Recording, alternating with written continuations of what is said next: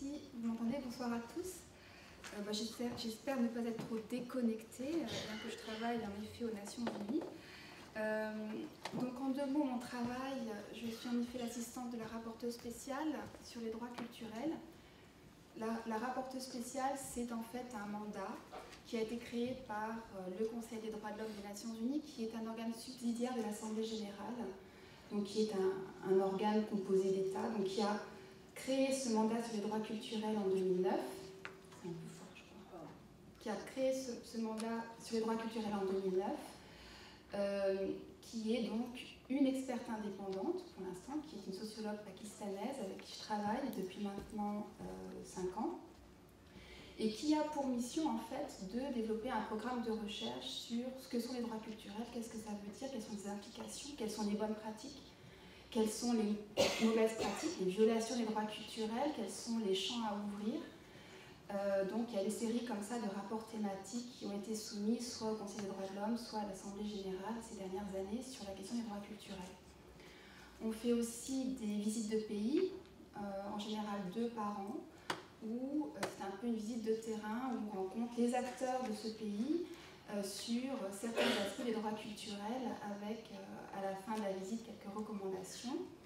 Et un troisième aspect du mandat, c'est euh, répondre euh, sur des communications individuelles, donc soit des individus, soit des ONG, qui saisissent en fait l'experte indépendante pour qu'elle se prononce sur l'existence ou non, dans un cas particulier, d'une violation d'un droit culturel. Alors, je suis très contente d'être là ce soir parce que ça fait un bon moment que Patrice me parle de ce projet et j'étais vraiment très curieuse de venir alors c'est vrai que on commence par cette conférence, mais je suis surtout venue pour écouter, en fait, et je suis très très euh, impatiente aussi qu'on arrive à la journée de demain, parce que c'est quand même la première fois que je, je, tombe sur un projet aussi concret, avec une telle variété d'acteurs qui se posent des questions, euh, en plus articulées autour de la déclaration de Fribourg, ce qui me fait plaisir. Euh, mais du coup, je trouve ça un, projet qui est très porteur et qui mériterait probablement aussi d'être partagé euh, au-delà des, frontières de, la France. Euh, alors moi, ma présentation, c'est un petit peu de vous parler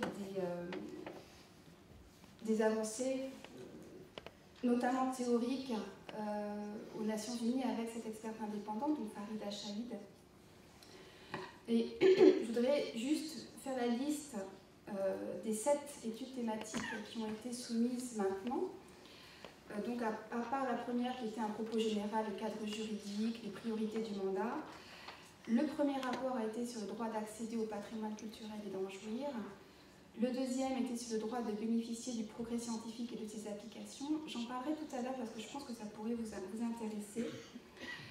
Euh, ensuite, euh, les droits culturels des femmes à égalité avec les hommes. Je voudrais aussi faire un petit, un petit détour par cette question qu'on n'a pas encore abordée ce soir. Droit à la liberté d'expression artistique et de créativité, c'est le cinquième rapport. On vient de finir deux rapports consécutifs sur la question de l'histoire et de la mémoire, euh, qui ont aussi en fait une, importance, je pense, au niveau non seulement national, mais aussi local, par exemple au niveau des départements.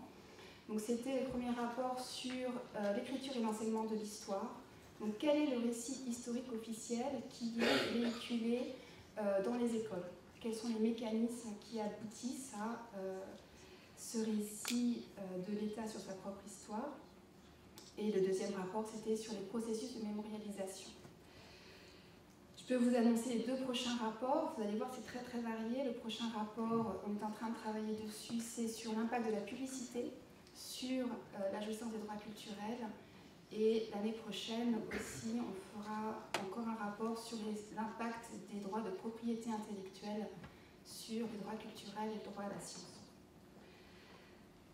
Alors, je ne peux pas résumer tous ces rapports, c'est beaucoup trop lourd. Euh, J'ai essayé de regarder aussi un petit peu la publication qui nous a été donnée et je voulais simplement apporter des éléments euh, à vos débats.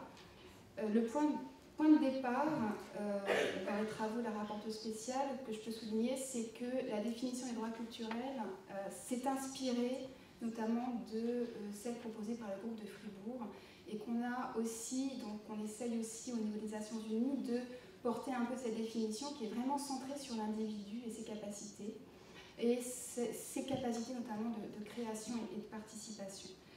Euh, a, la définition est aussi un peu centrée sur le groupe, donc plus le collectif, euh, qui est peut-être une, une des différences avec la définition du, groupe de Fribourg. En deuxième lieu, euh, donc ça c'est vraiment les principes de base, c'est qu'on est parti vraiment des principes que euh, les, sociétés sont plurielles, les communautés sont diverses non seulement entre elles, mais en leur sein, et euh, les individus eux-mêmes sont porteurs d'identité plurielle. Qui est je pense extrêmement important à partir du moment justement où on centre sur l'individu, parce que c'est l'individu qui va faire les arbitrages entre les divers aspects de ses identités et notamment va, dans certaines circonstances, mettre plutôt en priorité un aspect de son identité que l'autre. Donc c'est vraiment, je pense, une approche qui est euh, importante euh, du point de vue de la liberté individuelle.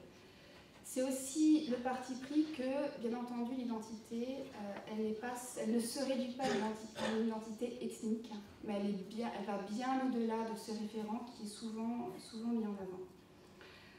Donc, un des, principes de départ du, mandat, c'est qu'il euh, est important que les individus ne soient pas obligés de s'identifier euh, en termes d'un aspect singulier de leur identité, mais qu'ils puissent justement y faire référence dans leur pluralité euh, sans devoir être cloisonné justement dans une petite case de son identité. Ce que je voulais apporter aussi euh, ce soir, c'est qu'il euh, y a un nombre incalculable de documents aux Nations Unies qui soulignent qu'il y a une relation de renforcement mutuel entre les droits culturels et la diversité culturelle. Donc les droits culturels sont un peu le garant de la diversité culturelle et la diversité culturelle est nécessaire à euh, l'exercice des droits culturels. Mais et je crois que c'est un point essentiel, euh, notamment lorsqu'on aborde la question de la place des droits culturels dans les politiques publiques, c'est qu'il ne faut pas s'arrêter là. C'est-à-dire que ce n'est pas un rapport qui est automatique et qu'il euh, faut être attentif au fait que le respect de la diversité culturelle ne doit pas non plus se faire à n'importe quelle condition. Je voudrais juste faire une petite citation qui date déjà de 2004, 10 ans, euh, qui est le rapport mondial sur le développement humain du PNUD, qui dit que, euh, donc je cite, Il est certainement vrai que de permettre la diversité dans les pratiques culturelles peut se révéler extrêmement important, puisque l'exercice de la liberté culturelle en dépend. Cela ne revient cependant pas à défendre la diversité culturelle pour elle-même. Beaucoup dépend de la manière dont la diversité est réalisée et de la mesure dans laquelle les individus concernés peuvent exercer leur liberté. Ce serait une grave erreur que de considérer la diversité culturelle comme un bien précieux, quelle que soit la manière dont elle est amenée. En effet, la diversité culturelle, notamment dans l'optique du développement humain, ne peut être évaluée sans tenir compte des procédés qui y participent et du rôle que joue la liberté humaine dans la manière dont les choses sont décidées.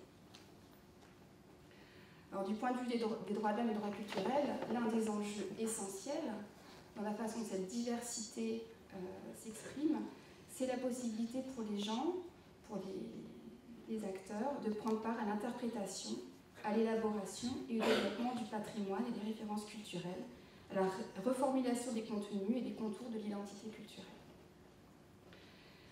Alors, il y a un des rapports de Farid Achaïd, commence à avoir chaud, il y a un des rapports de la rapporteuse spéciale qui, si ça vous intéresse, démontre le mieux ces mécanismes. C'est son rapport sur les droits culturels des femmes à égalité avec les hommes. Entre parenthèses, je voudrais préciser que Farida Shahid est une activiste pakistanaise complètement impliquée sur la question des droits des femmes au Pakistan. Donc elle a vraiment cette légitimité aussi pour, pour soulever ces questions, raison pour laquelle elle a décidé de consacrer un rapport entier. Et dans, dans, ce, dans ce rapport, je crois que ce qui est important, c'est euh, de ne, qu'il est important de ne jamais oublier qu'il y a une relation étroite entre culture et pouvoir, entre identité culturelle et pouvoir. Et quand on a affaire à des populations diverses, je pense qu'il ne faut jamais perdre de vue euh, cet élément. Donc la question importante, c'est qui au sein de la communauté définit l'identité collective? Et appartenance à une communauté ne veut pas dire égalité au sein de la communauté.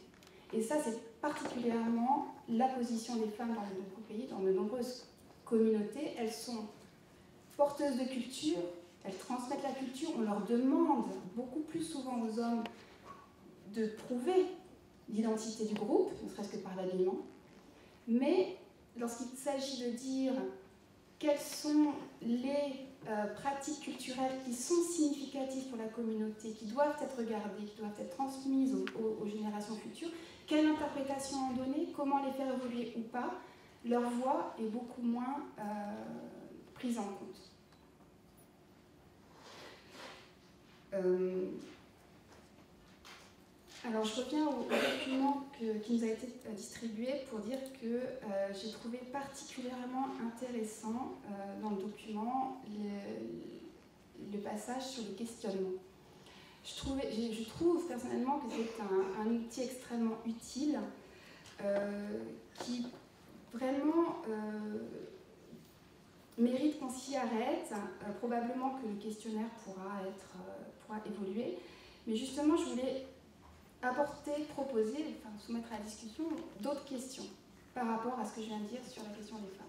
Et dans ce rapport euh, sur les femmes, euh, Farida propose une série de questions de dire, justement, dans ma pratique professionnelle, est-ce que vraiment les prétendues normes culturelles reflètent vraiment une pratique sociale?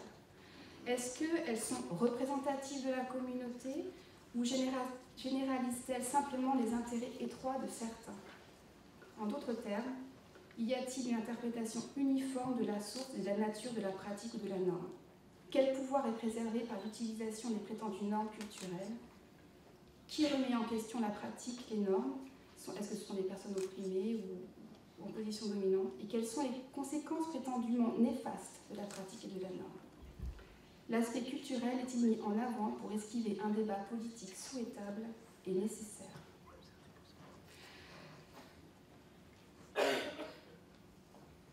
Alors, je crois qu'il y a l'esprit qui, euh, qui, a présidé vraiment euh, à l'élaboration du projet tel que moi je l'ai lu à travers la publication qui a été distribuée et les travaux de, Farid se, rejoignent euh, de plusieurs façons. Parce que c'est vrai que les rapports que nous avons écrits sont aussi très ancrés sur les notions de participation et d'échange, sur la certitude que chaque personne a des ressources culturelles à partager, à faire exprimer, que chaque personne peut être acteur de son quotidien et que c'est de renforcer sa dignité que de lui permettre de le faire. Ça, c'est vraiment aussi euh, un élément central de la réflexion. je ne peux pas tout, tout, résumer, mais c'est là que je voudrais aussi faire euh, un aparté sur cette fois-ci le rapport qui a été écrit sur le droit de bénéficier du progrès scientifique et de ses applications. Alors pourquoi ce thème? Euh, c'est dans le mandat de la rapporteuse spéciale. Euh, c'est un des droits aussi qui est euh, énoncé dans les instruments internationaux relatifs aux droits de l'homme, sur lesquels très peu d'acteurs pour l'instant se sont penchés. Mais finalement, le, la jointure, le lien étroit avec les droits culturels est, assez manifeste dès que l'on souligne que finalement ces deux droits sont très euh, ancrés sur la notion de créativité humaine. Créer en réponse à un environnement, euh, c'est le cas des œuvres scientifiques, c'est le cas des œuvres culturelles.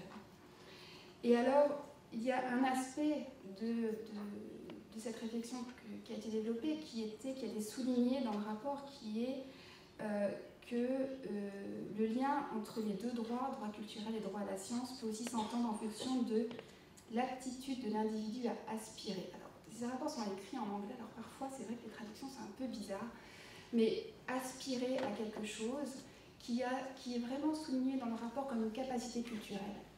C'est comment un individu ou une collectivité va avoir des aspirations quant à son, son avenir, et euh, c'est euh, concevoir un avenir meilleur, non seulement souhaitable, mais réalisable, notamment aussi à partir des ressources qui sont, présentes.